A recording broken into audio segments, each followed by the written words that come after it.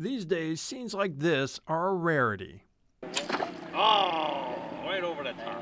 With all the distractions of mobile devices, computers, video games, getting outside just not an option. But Karen Metzger wants to change that.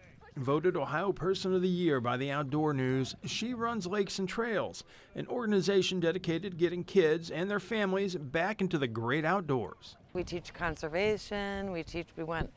We want them out boating. We want them out fishing. We want them to get them outside, not sitting in front of a video game at home. Twice a year, Lakes and Trails runs camps on Leesville Reservoir in Carroll County.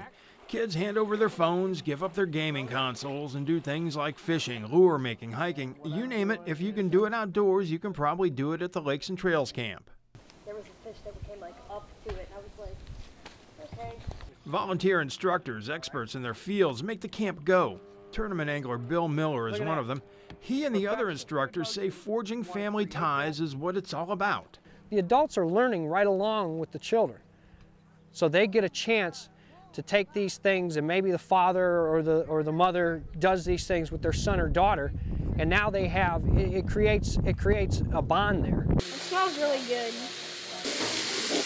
Cut it open. Okay. Cook what you catch. The camp provides outdoor cooking lessons along with instruction in fly tying, casting, boating, lure making.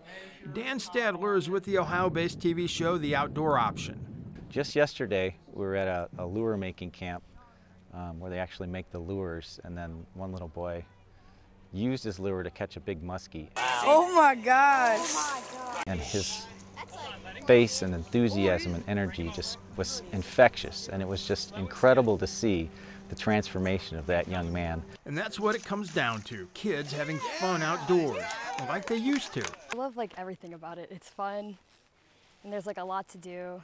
Like I didn't know how to fly fish before, but now I do. And when you see someone catch their first fish on a lure that they made that weekend, or you know someone shoot their first pheasant, or go canoeing for the first time, it's in the smile on their face. It's just it's so rewarding. Feels awesome. Here, let me hold your hand here, right? No, Dude, that's second. awesome. Wow. That's the lure I had that broke. We're getting this oh. mounted.